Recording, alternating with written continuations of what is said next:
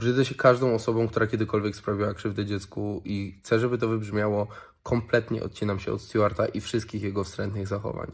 Owszem, przez wiele lat byliśmy przyjaciółmi, natomiast nie patrzyłem nigdy w jego telefon i nie miałem prawa wiedzieć, co pisze do innych ludzi. Mimo naszej wieloletniej znajomości okazało się, że nie wiedziałem o nim wszystkiego.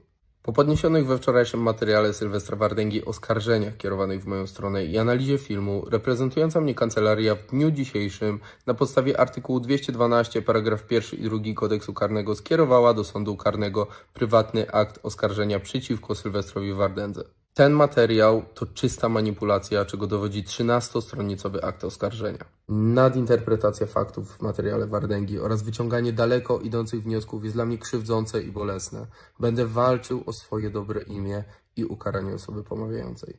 Wybrałem do tego drogę procedury karnej, dlatego że chcę rozmawiać o faktach i dowodach, a nie zmanipulowanych i wyrwanych z kontekstu fragmentach rozmów z czasów, gdy miałem 18 lat. W tej chwili tylko przed sądem uzyskam szansę na taką rozmowę. Informuję, że w związku z zaistniałą sytuacją każda medialna wypowiedź na mój temat będzie analizowana przez moich prawników. Jeżeli moje dobra osobiste zostaną naruszone lub będą popełnione przestępstwa działające na moją szkodę, będą podejmowali natychmiastowe działania prawne z pominięciem etapu wezwań przedsądowych.